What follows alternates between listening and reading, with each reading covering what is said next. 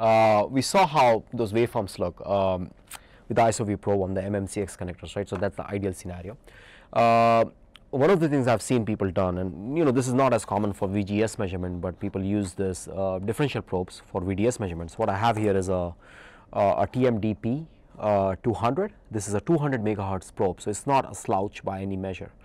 Uh, really, really good probe, but I just want to show you how this compares with a setup like this, right? Uh, to make a measurement similar, right? So we'll, we'll, look at the VGS measurement, just see uh, what it does to a measurement and see how it looks, okay? So give me a second, uh, I'll plug this in, we'll deskew it and then we'll get rolling, all right. All right, so what I did was uh, I got this probe and I got it connected to our uh, VGS connections on the square pin side, right?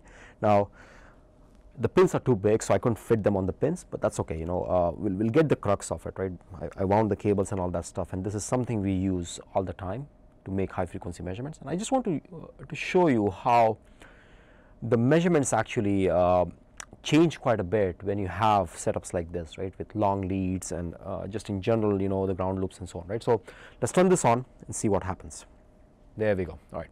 So, remember how we saw, um, oops, sorry, remember how we saw the VGS measurement. So, the blue signal is the VGS we are measuring on the MMCX side of things with IsoVu probe TIVM and the orange signal is the signal the VGS signal the same VGS signal on the square pin side with the TMDP 200 right. So, 200 megahertz probe and see the difference on both those measurements, right. So, if I if I zoom in and I will change the positions a little bit take a look at that right. So, obviously, you do not see the gate measurement, but you see a lot of artifacts that are just not there in the real measurements. That is how it should look, we just do not see it, right. So, that is that's the problem with using differential, especially at lower bandwidth. It just slows the signal down. It works as a low pass filter, right. Um, just look at this, right. The, even the amount of ringing on the turn off side is just crazy. It is not real, right. The problem is if you use the system to measure it, you will have to fix for this and it is not even there, right. So, it is a, a measurement system problem which uh, should not be ignored, right. So, as you can see all this ringing is not real, right. Uh, I will show you another example with the same setup, right. So, we will we'll replace this guy and keep the leads that I have right here, the long leads and see how IsoVu does with long leads, right. So, that is the next setup we will all right. So, in this new setup what I have done is uh, I, I, took off the, the differential probes, right. And what we will do is we will we'll bring this IsoVu probe to this side and see how this lead length affects the measurement, right. And what I am trying to replicate with this is uh, a setup where you know we are used to soldering the cables directly to the board, right. And a lot of us do this, right, so that we can get really tight connections, right. It won't be this long, but you'll get the get the crux of it, right. So we are using this square pin adapter that comes with IsoVu. So you can use the MMCX uh, tips that you have directly with this, right. So we'll we'll save this measurement we'll move this probe here and compare it with its own reference okay so let's save this measurement uh, in the file. So, oops, waveform and we'll call it 1, 2, 3, 4 is fine, right? And we'll call and recall that measurement again. So, right here we are looking at 5 and recall, right? So, there she is, right? So, you can actually see the measurement in white uh, and the blue measurement is now going to be the new signal, right? So, I am going to switch that probe to the new place and let us see what the measurement looks like now. All right, there we see, right? So, the blue one is the one with the leads let me change the trigger just a little bit so it, it stays kind of stable right.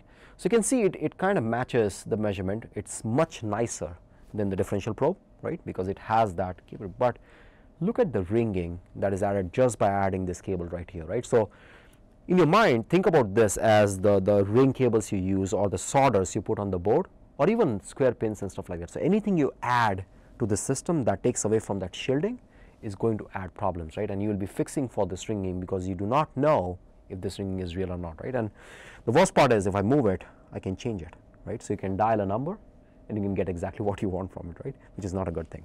All right. So uh, that's one.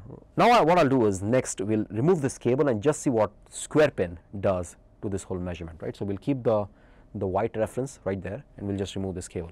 I removed the the lead from the connection and we went directly with our IsoVu on the pins on the square pin with the adapter right? And what we want to see is how does adding an adapter and a square pin affect your measurement right? So we already have this as a reference from the MMCX side uh, that is as ideal as we can get. And let's see what the adapter does to or square pin does to the measurement right. So, let us turn this on and take a look at that right. So, do you see that right there?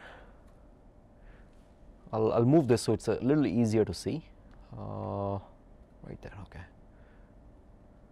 And then we will move this guy a little bit. Take a look at that right. So, see all this ringing right? And which is obviously not here right? Everything else kind of matches, but you see this ringing. And that is really an artifact that the square pin and the adapter adds right. So, the common mode rejection actually degrades if you start adding stuff to it. And the point is when you design these boards especially if you are doing very very high speed GaN you really have to think about your connection points even with the best equipment possible you will still see issues like this and the problem is you won't have other reference designs to test again, right. So, this will be your golden design and you will try to fix this problem for months without knowing that it's just a measurement issue which you could have solved anyways, right.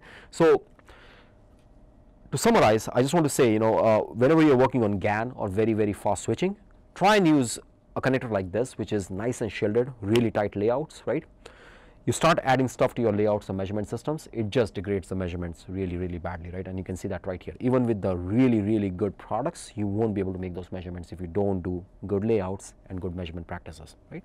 So we'll, we'll stop this section as this and let's go look at the current now.